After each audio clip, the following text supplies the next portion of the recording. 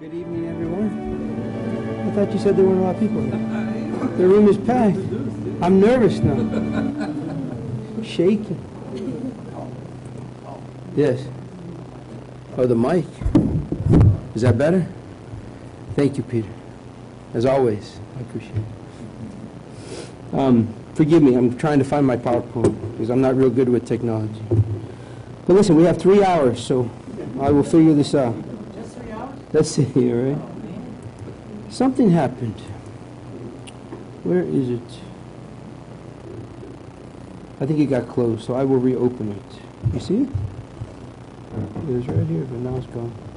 Click on it. I did. It opened a, a blank. PowerPoint. Yeah, then you can, can go I'll to do here. I know where it is. It's right here. I'll show you. Sorry, guys. How much do you have me here? A dream of mine is coming true. I've known Peter for what, 11 years now? 10 years? And we, I mean, we always talk about getting together more. We always talk about getting together more often because we enjoy each other's company, we learn from each other, we support each other. Um, and my dream's finally coming true because he's working on Thursday nights now. Watch what we wish for, yeah? But no, it's nice to see everyone. So, wh- when you read multiple lives, um, what do you think? What pops in your head? Seriously. If somebody's going to say the R word, right?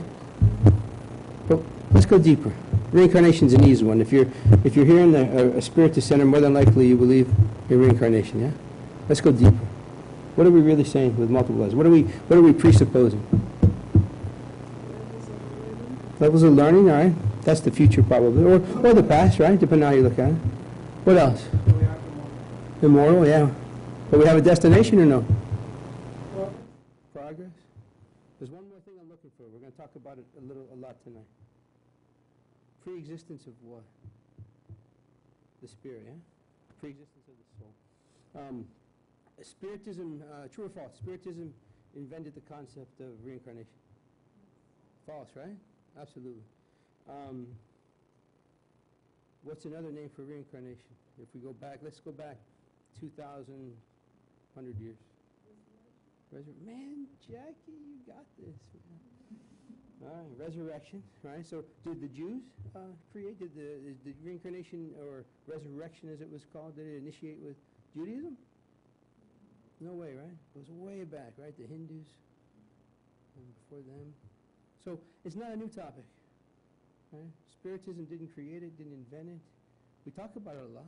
Um, we utilize teachings uh, of it a lot, but we didn't create it.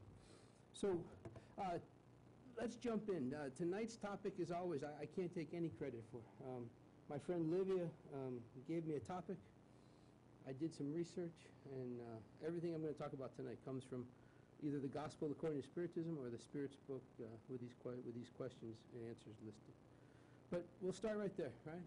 Resurrection and reincarnation, um, synonymous to a certain extent. Uh, but let's remember that resurrection presupposes um, the body comes back to life, right? The, the person dies, the soul dies, but the soul returns in the same body, right? We know that's physically impossible, right? The body dies and it decomposes, right? We know the body can't come back. Um, this was so prevalent back in this time prior to Christ and during Christ's time that all of the tribes of Israel, or all the tribes of, of Judaism, uh, believed that, um, that you live again in this form of resurrection. Although they didn't know exactly what that meant or the form it took, they did believe that the, that the soul and the body, uh, that resurrection existed and it lived on. Just one tribe, uh, the Sadduce- uh, Sadducees, um, did not believe in this. They believed that everything died with the body. But all the other tribes of, of uh, Judaism uh, definitely believed that we lived again, um, and that just the manner obviously wasn't understood because we know from just that long, right? When it dies, it decomposes. So that's where we start. Um, there's a definition for you, right? The return to life of the body that died. Reincarnation, on the other hand, um, absolutely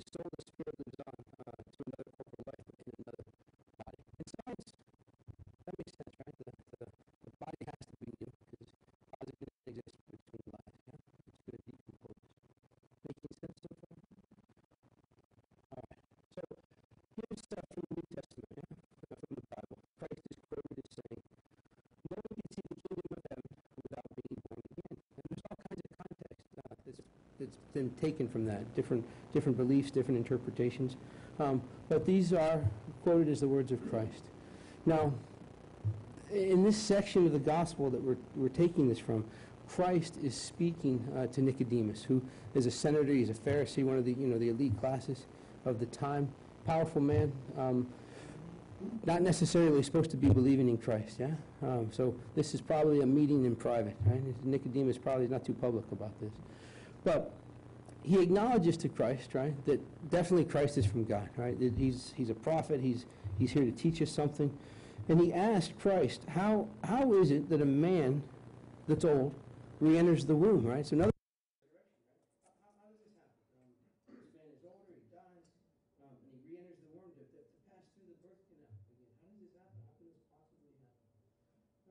logical question, right, given the beliefs at the time. Jesus replied with this. He said, if a man is not born again of water and the Spirit, he cannot enter the kingdom of heaven. Whatever is born from flesh whatever is born from the flesh is flesh. Whatever is born from the Spirit is spirit. That's his answer. And he continues with this, which makes it even stronger. Don't be surprised, Nicodemus, right, that I've said to you that it is necessary for you to be born again. In other words, just the law. Everybody's got to be born again. The Spirit blows wherever it wishes, and you hear its voice, but you do not know where it comes from or where it is going. And then he continues, the same occurs with every man who is born of the Spirit. It is necessary to born again, to be born again. Not optional, not maybe, not some do, some don't. It's necessary for you to be born again of, of, uh, of, of water and spirit, right? So what do we know about water at the time? Anybody know? Why is water so important? And why, why do we have so many interpretations of it? If we go back to ancient ancient, yeah, it is ancient text, right? It's several thousand years ago. But like, you ever hear the quote or the, the, the, the scripture that says it's, it's easier for a camel to pass through the eye of a needle than a rich man to go to heaven? Right? It's the translation, it's, it's what the word meant at the time. Camel had many different meanings, uh, several, couple meanings back in the day. Um, um, not necessarily we think of the animal, right? Um, but, but, um, um, rope, if you will. Uh, water had multiple meanings, or the more specific meaning of water, uh, back in the day was this, right?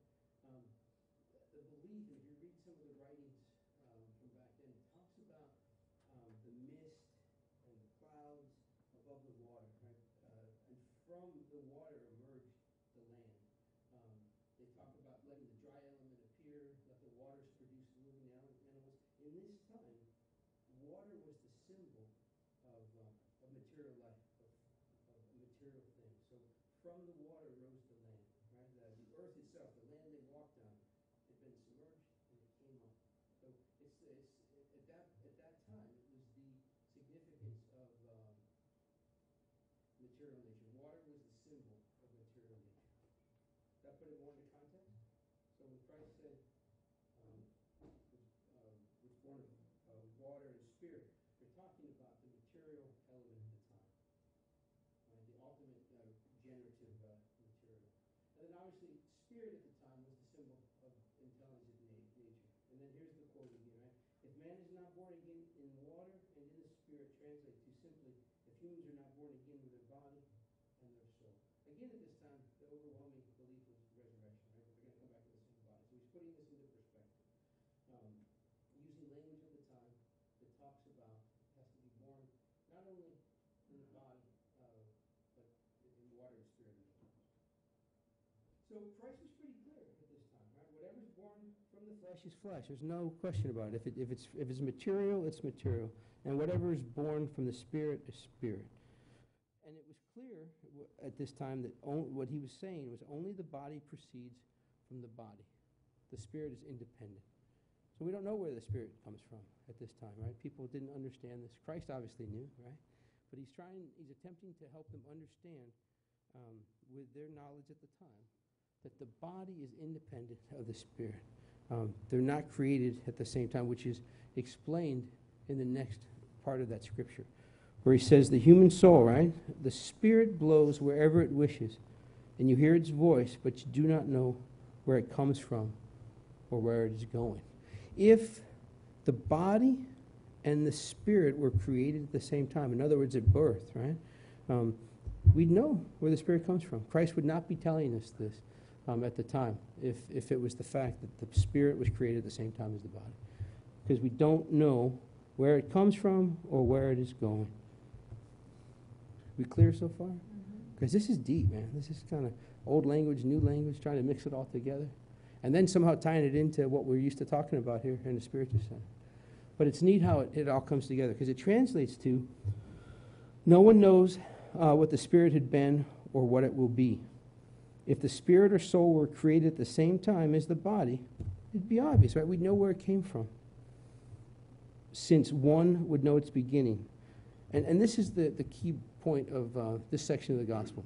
What they're explaining to us, right, in, a, in that spiritist perspective or in this current interpretation, given the knowledge that we have now, that we had at the time this was written, um, it consecrates the principle of the preexistence of the soul, which is how we started tonight. If we believe in multiple lives, we are acknowledging preexistence of the soul. There's no way around it, right? If, if you believe you've lived multiple lives, that I've lived multiple lives, that means my soul existed prior to this body. And this is the passage in the Bible that, that consecrates that. Um, there's no doubting preexistence of the soul and the plurality of existences uh, coming, coming directly from, from Christ at this time, thousands of years ago. I think it was lost to a certain extent, um, hence all the interpretations over the years, and we'll talk more about that. But this um, is very telltale of the mess, one of the messages that Christ was trying to tell us that our spirit is created separate from our body. Our spirit pre existed our body. And after this body dies, the spirit continues for multiple lives. All right, we can all go home. That was easy. Yeah? No? Okay. So, Matthew, uh, uh, the book of Matthew is where this comes from. He, he wrote Christ's words. And this is, this is a little deep, and some would say it's a stretch, but um, it, it, makes sense to me, and I hope I can convey the simplicity of it um, as well as, as, I'd like to. But, but when we talk about um, resurrection or reincarnation, and we talk about multiple lives, preexistence of the soul, um, uh, eternal life, uh, one life to the next, there's always those that we talk to or have questions. They, a lot of people come to a spiritual center for the first time after they face some type of trauma or they're feeling some kind of pain in their lives. And they come from various backgrounds, you know, traditional Christian religions, Catholicism, there's uh, atheists that walk in the door, um, Hindus, Buddhists, you name it. You know, people come to a place like this um, for the first time, usually because they're facing some adversity and they're asking questions. And one of the questions is, well, where does it say in the Bible anything about reincarnation? So we showed you one verse um, from, uh, from Matthew. Here's another one that's pretty prolific, I believe. Um, Christ is quoted as saying, Since the time of John the Baptist until the present, the kingdom of heaven has been taken by violence. He goes on to say that he himself, Elijah, right, who must, he himself is Elijah who must come, right? In other words, for us to believe, to, to overcome this, right? And then he tells us, remember, that John is alive. The spirits are telling us this in, in, in the spirits in the gospel. Remember that John is alive at this time, and Christ is telling us that John is Elijah. Um, so while he's talking at this very time, he's talking about since the time of John the Baptist until the present. John's alive and baptizing people in the river at this time. He's talking about John in the past tense. Then he says, He himself is Elijah who must come. In other words, John the Baptist is the reincarnation of the spirit or the soul of Elijah, who was a prolific uh, prophet uh, of Judaism uh, prior to this. Um, Elijah died, time passed, born again, right, by spirit uh, and water, right, into the body of John the Baptist. And this is Christ telling us that um, John the Baptist is Elijah reincarnated. And to some, that's a stretch. But it makes sense after you, after you consider it all in context the other piece to that that we have to kind of put into perspective is when we talk about the, the kingdom of heaven has always been taken by violence up until that time. Right? Was John the Baptist violent? You guys remember the stories? Was he a violent man? No, he's pretty loving, yeah? Pretty peaceful. Um, helping, right? Violence in that scripture represents Mosaic law. What do, what do you think of when I say Mosaic law? An eye for an eye, a tooth for a tooth, right? You steal, they cut off your hand, right? Stuff like that. Um, the extermination of infidels, right? To take back the promised land. The Jews were enslaved, right? They were promised freedom, right? So it was all about getting back what's yours, doing unto others as they do unto you, an eye for an eye, right? John the Baptist, on the other hand, John the Baptist, on the other hand, right? Elijah in this life, right? The reincarnation of Elijah. What's he doing? Is he practicing the Mosaic law? Absolutely not. He's baptizing people in, in the name of uh, uh, charity and kindness, right? He's practicing the new law, right? The good news, the gospel, according to Christ, right? Um, he learned this, obviously, uh, through his lives, and he was there during the time of Christ, following that example, teaching others um, about this new way that we don't have to kill, we don't have to take an eye for an eye. We can be loving, charitable, and kind, um, and that in itself will help us transform. Make sense? All right. So, all this into context, um, the doctrine of reincarnation does a couple of things. Tells us where we came from, to a certain extent. Where is that? Anybody? Everybody know? Where do we come from? Spiritual world, created by God, right? Simple, lacking knowledge, right? Do you remember your last life, Peter? Thank God, yeah. Right? But we know we had one, right? Me too. I'm not. I'm not singling you out on that one. I'm talking about all of us. But but we know that we came originally from from God, created, simple and lacking knowledge, right? All in the same place, same starting point, right? We live these successive lives. Where are we going? Anybody know? Where are we going? Ultimately, we're going to evolve, right, to become this pure, perfect spirit. Right? So we know where we came from. We know where we're going. Do any of us know exactly what's going to happen in between? No, right? So that kind of explains why we're on earth, right? To, to write our own destiny, to, to, to evolve, to, to do our best to, to get closer to that ultimate destination. And, and that very essence of this doctrine of reincarnation, all those pieces, where we came from, where we're going, why we're here, it justifies all of these apparent injustices uh, that exist in this life. How many of you ever said life isn't fair? No, not you. No, I don't believe. No way. Not fair. Why me? I see a black cloud over some of your heads. I'm kidding. Right? None of us are unlucky. None of us are chosen by God over others. None of us are more loved or less loved. Um, life is extremely fair because of this doctrine of reincarnation. We'll talk more about that. But no one is, is better or worse. We're all exactly where we've placed ourselves with our free will um, they go on to tell us here in the Spirit's book that without the principle, right, of the preexistence of the soul and the plurality of existences, most of the maxims in the gospel are unintelligible. Are unintelligible. And, and I'm convinced, um, I didn't write this, but when I read it, it's like, yeah, I've been saying this for years. Right? That's not my idea, though, right? There's so many contradictory interpretations. How many different forms of Christianity are there? Anybody know? I don't either. I bet you there's thousands, right? All based on the same scripture all based on the life of Christ on earth and how he died.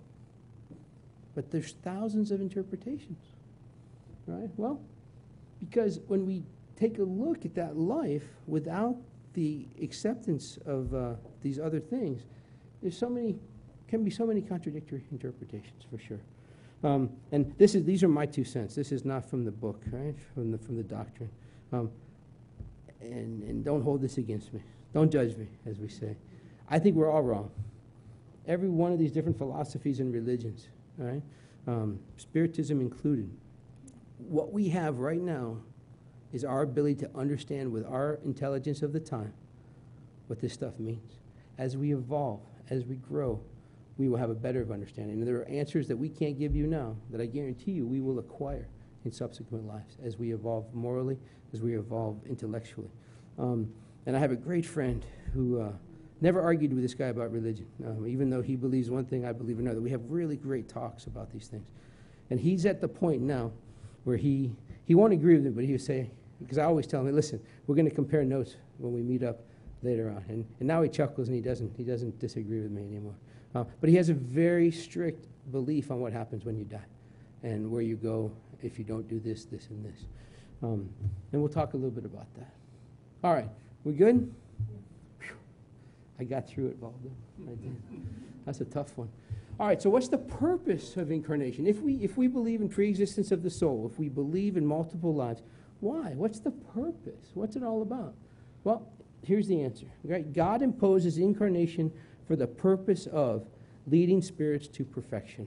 We know that Christ uh, is a pure spirit. We know that his, his example of how to live was shown to us with the way he walked the earth, right? Um, we know that our goal is to evolve to that, that level of perfection. Well, how do we do it, right? Well, we come to earth or we go to other planets, wherever, wherever we are at the time, whatever level of moral consciousness that we are at, we reincarnate there, right? To continue. As long as we're on earth, we're either expiating some past wrong, right? Fixing something, correcting something that we've either done wrong or chosen not to do in a previous life, and or as a mission. Um, mission being to undergo all of the vicissitudes of corporal existence. That was a big word. I had to look it up. Vicissitudes. That's all the drama in life. Right? The things that come our way that test us, right? Um, from uh, from uh, money to drugs to to um, to vice to um, temptation, our passions, all these things that we have to overcome that we're faced with, and I don't know about you, but I don't think I'm going to overcome all these things in one life. Yeah, but each life we face, come back and try, and continue. Um, so there's the expiation, right? The ability to come back, face these challenges, and overcome. But that's our purpose to overcome these things, to, to conquer them. Incarnation also places spirits in situations where they can do their share of the work of creation. Because let's face it, we're individuals, we're independent individual spirits, but does that mean we only help ourselves? Absolutely not. We help each other. I can't grow without you guys, you can't grow without me. We are all uh, connected, intertwined, if you will. Hence, my, my story I like to tell about living under a bridge. Right? If I wanted to avoid temptation, I could just go live under a bridge. I could go out to a deserted island where they got coconut trees and I could fish.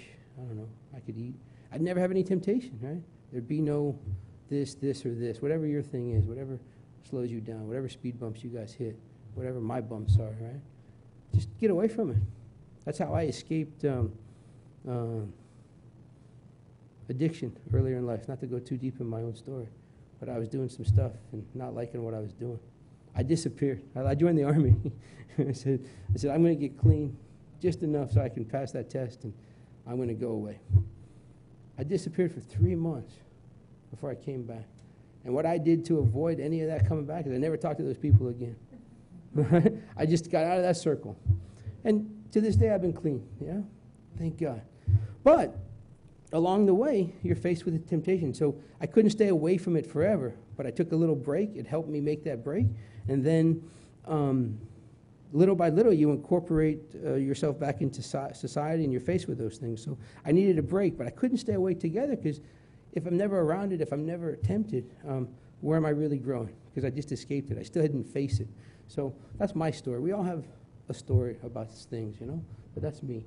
But the point here is everything in nature's, uh, we're connected and there's this solidarity. If I'm out of balance, other things are out of balance, right? Until, w- as we live this life in this human form, our actions with society, our actions with our neighbor, um, as we all elevate ourselves morally, guess what happens to the planet?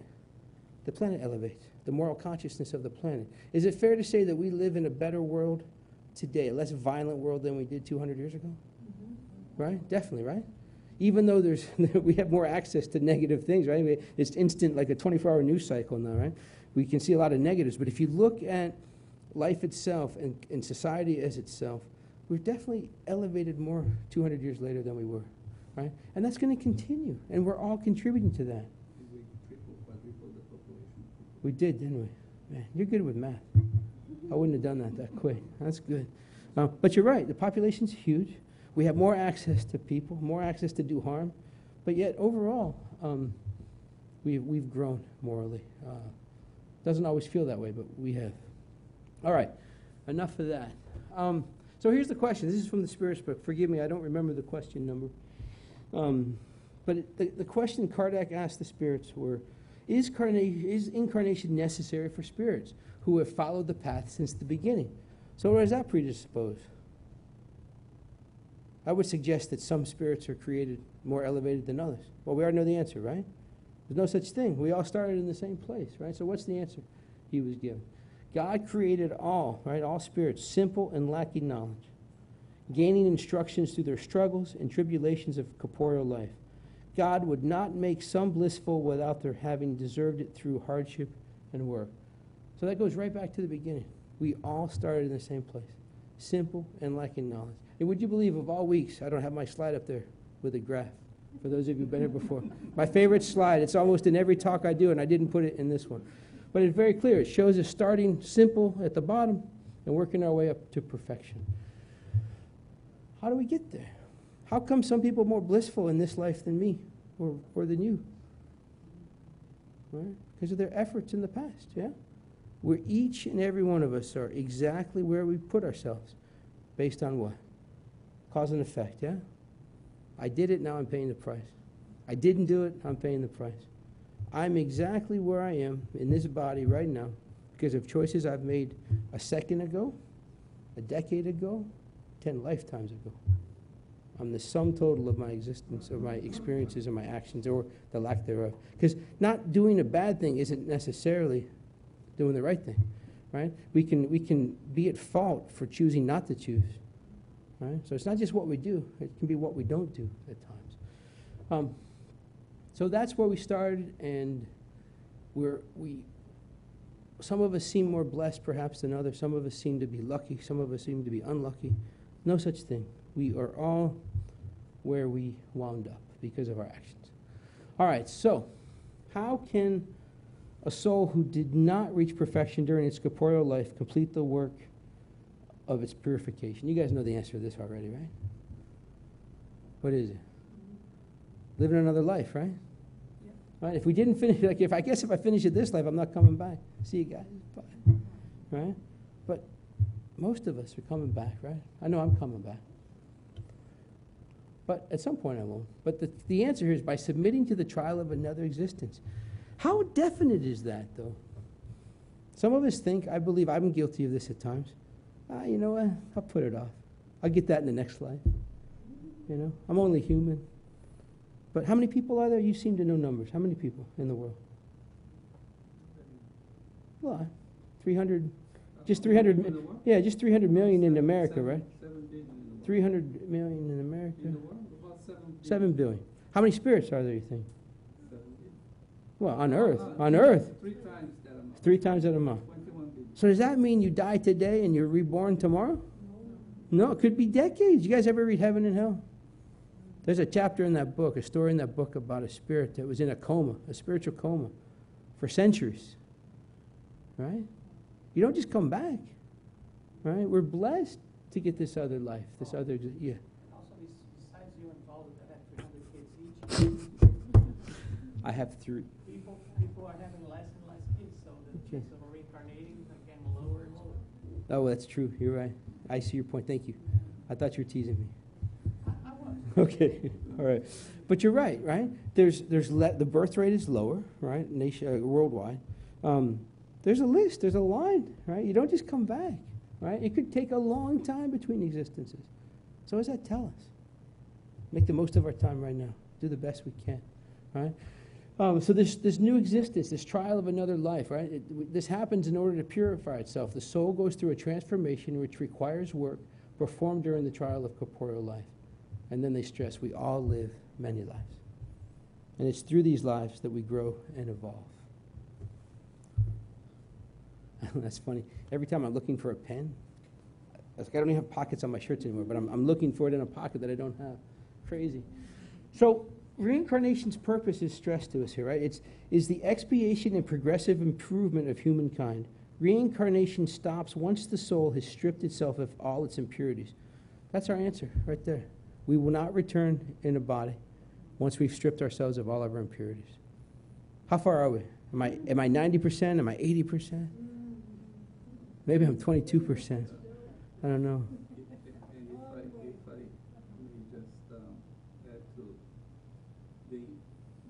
Stripping itself of our security is not imposed, it's because we want to, as we. the more Correct. we- The more we learn, the more we learn. Correct, and that's, and that's the last sentence, yeah?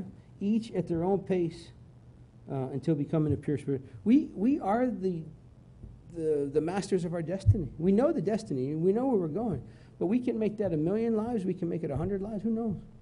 Right? But the more we accomplish each life we have, the further we evolve morally. Okay, make sense? Awesome. All right, here's a tough one. All right? On what is the doctrine of reincarnation based on? What do you think? Do we pull it out of a hat? The justice of God. All right? Remember we talked about luck, no luck, gray cloud. Some people seem better off than others.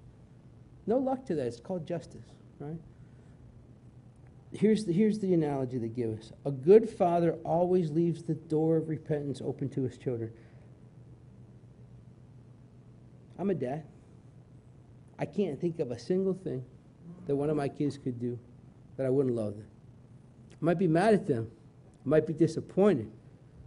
But I, I didn't know what uncon. How you doing, buddy? Please have, have a seat, man. We'll be we'll be we'll be finished. Well, have have a seat. Listen listen to the lecture. Please please welcome. Sit down. Listen. Bob, see, when I, when I do that, I, I still don't get no help. I just want everybody to know why I'm here. First of all, how y'all doing? Second of all, I've had these clothes on since November nineteenth of last year.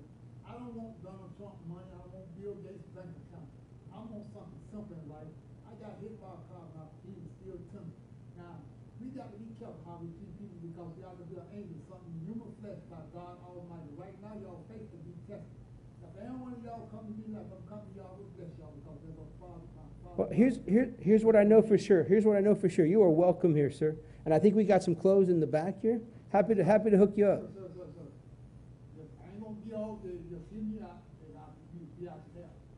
I'm trying to get down here in the shelter for fifteen nights, which is fifteen one dollar bills. Everybody I talk to in these United States of America treat me and act like I'm asking for LeBron and Donald Trump bank account. well, listen, I'm sure we'd be happy to help you. Why don't you sit down and listen to the rest of the lecture? I got here with no lock, and just a dope infested area. Yeah, and, and, and you're you're welcome. I would love for you to sit and stay. My bike is out here, so I can't- Br- bring it inside. Bring it inside if you want. Then all y'all, all y'all get together, you know, because I get my check next month, that's eighteenth of next month, that's a long time. I- I'm- I- In the meantime,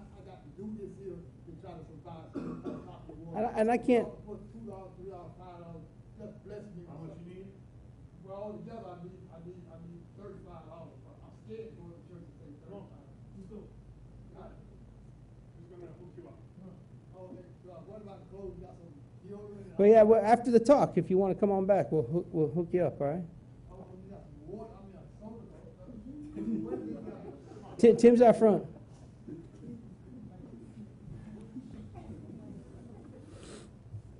So, we all face hardship, yeah? We all have our own um, issues to face. And um, we all do this at our own pace, in our own way. And one of the best things we can do for ourselves and for other people at their various stages of, of struggle is pray for them, yeah? And do what we can to help them. So um, we will do our part. Um, where was I? Aren't we all children of God, yeah? God's children. So I was telling you about my children, and I can't think of a thing that they could do where I wouldn't love them. Well, I'd like to believe, and I think you'd agree, that we're all God's children.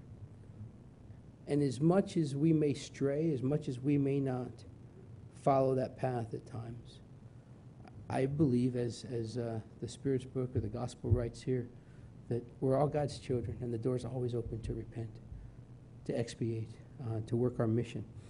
And it's through these multiple lives and through this path um, that we do that. They remind us here that it's, it's only among selfish humans that we find iniquity, insatiable hatred, and unforgiving punishment. In other words, we as humans can hate. We as humans can kill um, at the expense of others to grow. We can take from others. We can use people as tools, um, as stepping stones. Um, because we're at that level of moral development right now. Uh, in our own way, different, all of us, different levels. Um, but as we progress, right, um, we will grow beyond these, these three things and we will become more, more Christ like. And by the grace of God, we are granted the ability to do that. We are not condemned to the fiery pits of hell. Right? We're not condemned to eternal punishment. Um, no matter what one of my kids do, I might punish them in some way, right? Um, but it's not forever. My heart is filled with love for them, and my job is to try to help them grow, as is God's commitment to me, right? Going to give me the tools I need to grow, to move beyond these things. We good? Awesome. So, question uh, 222. This is actually, we have another hour, so we should take a break? No? No? No, just a couple more minutes. Just a couple more minutes, I swear. And, and this is where, if you get a chance, uh, question 222 is, is, is a very simple question with a very long answer. There's five or six pages to question 222. It's a whole chapter by itself. Um, and it talks about a lot of stuff. But let's, let's break this up in, in a couple sections um, briefly so I don't beat a dead horse, as they say. But let, let's assume that you're neutral on reincarnation, right? You don't really have an opinion. It could be half of us say it's an equal likelihood of truth for multiple lives or a single existence, right? We're kind of in the middle. we I, my job is not to convince you, but I'm going to lay out the facts. Not from a spiritist perspective, but just from a logical perspective. Let's start with single existence. We have one life. So, we're born. Where was the spirit? What is the spirit with single existence? Are we still under the assumption that it pre existed the body? Can we believe that? Probably not, right? Because if we just have one life, what was the spirit before that life? More than likely, it's not possible. In a single existence, how come, how do we explain babies dying in the womb? Babies dying at birth? Children having terrible diseases? Men and women cut down in their prime from devastating disease. How do we explain that if we have one life? How come I live to be 90, let's say, and other people are lost at 28, 14? If there's just one existence, what, what determines that? Right? Um, how do we explain with a single existence children that uh, are precocious, if you will, or um, advanced. They, they seem to have these ideas that, uh, or they're experts, they're child prodigies um, in certain things. They, they remember that movie or that that uh, that was a clip. I think they made a movie out of it as well. Uh, was he six or seven years old, and he knew everything there was about World War II aircraft. Right? He could name parts, he could name pilots. At some point, he even remembered his name, and they did the research, and sure enough, he's a real pilot in World War II. Mo- Mozart. Mozart was like Concert at age four. right. Mine was six. It wasn't very good. There were just a few people there, but, but I tried. So, how do we explain that in single existence? Right? Now, let's take the other side of this coin multiple lives. With multiple lives, how do we explain early death of anyone, child, adult, disease? Some people survive terrible things once, twice, three times. Some people don't, right? Well, if we believe in multiple lives and the pre-existence of the spirit, what do we know? We know that the body's born with a spirit that's lived before, right?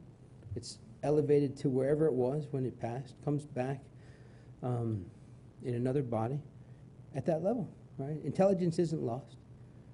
Character, moral development isn't lost don't have the same body, you don't have the bank account, you don't have the the clothes, you don't have uh, the same family necessarily physically, but you have the spirit that you had before, that stays the same, and you have the intellectual and the moral fiber, character.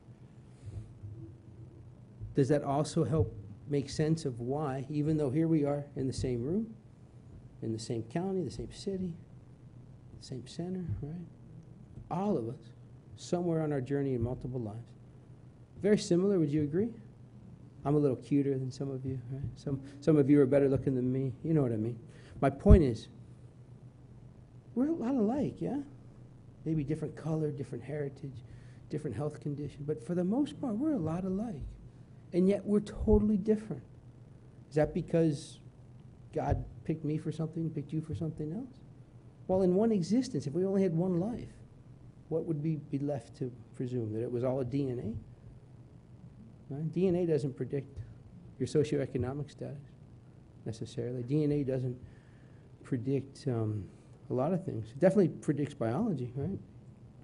But with multiple lives, it totally makes sense why, in my very own family, right? Same environment for the most part, um, same socioeconomic situation, why I was able to escape some of this stuff and my brother wasn't, right?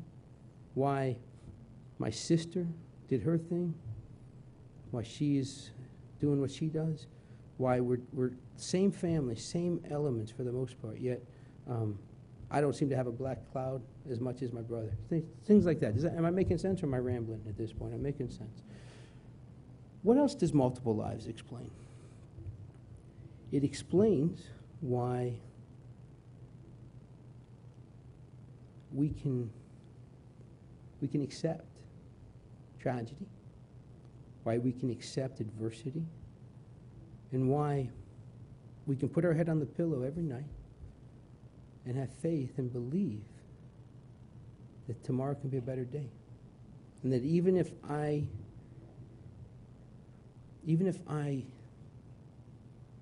had a bad day, even if I haven't overcome my issues, I know that I have the ability to amend, to overcome. And if I don't quite get it done before I pass in this life, that I'm not going to go backwards. I'm not going to become a dog or a cat or, or, um, or something like that, a bird, I don't know. I'm going to come back in another body at some point. It Could be centuries, it could be not. But I'm going to work, I'm going to grow, and I'm going to amend for those things I did wrong.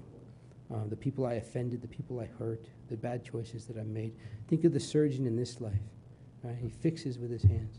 In a previous life, that surgeon could have been a soldier killed with a knife or a bayonet. A life before that um, could have done something else bad with his hands, but comes to this life gifted with hands and putting it to good as opposed to um, to bad.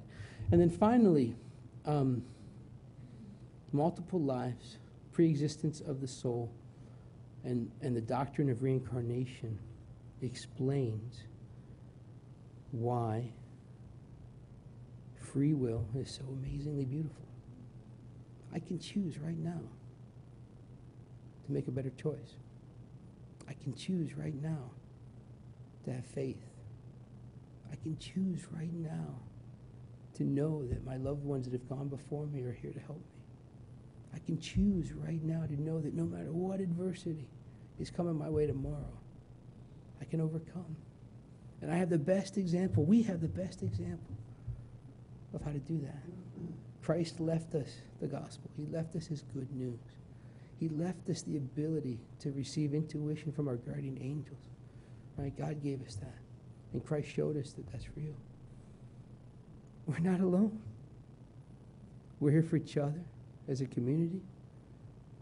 We're here protected by spirits that have gone before us, praying for us, shining light over us. At your darkest hour, at your most difficult challenge, you're not alone. So take that with you tonight. Have faith in that. And thank you for your time, your attention, and laughing at my silly jokes. I appreciate it.